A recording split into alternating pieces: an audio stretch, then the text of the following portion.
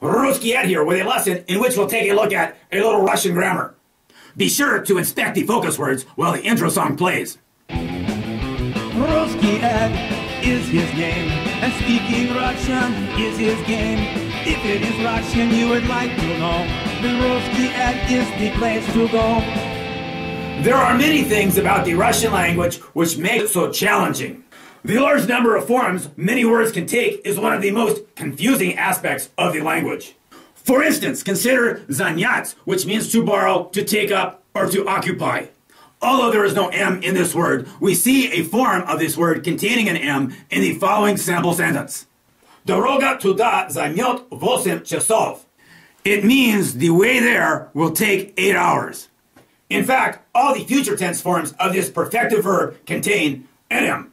Word choice often causes a little confusion since sometimes it is unclear which of two words is the best to use in a particular sentence.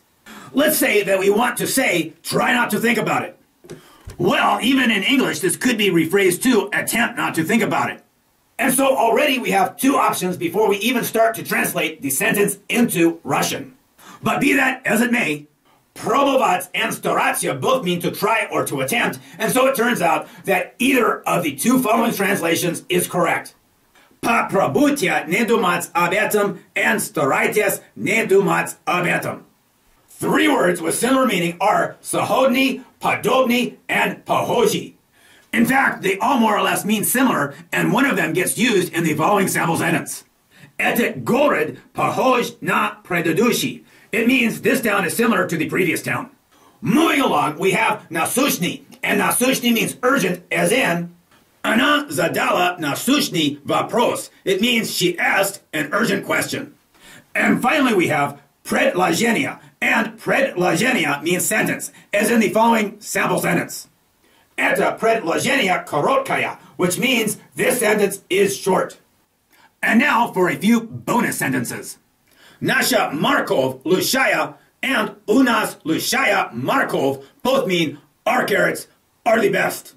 Situatia izmeniliska luchimo means the situation changed for the better. And Ana повторила instrukции. It means she repeated the instructions. The focus words for this lesson include Zanyats means to take up, Staratsia means to try, Pahoji means similar, Nasushni means urgent, and Predlagenia means sentence. And that's it for this lesson. Rusky Ed, signing out now. Das Vidanya!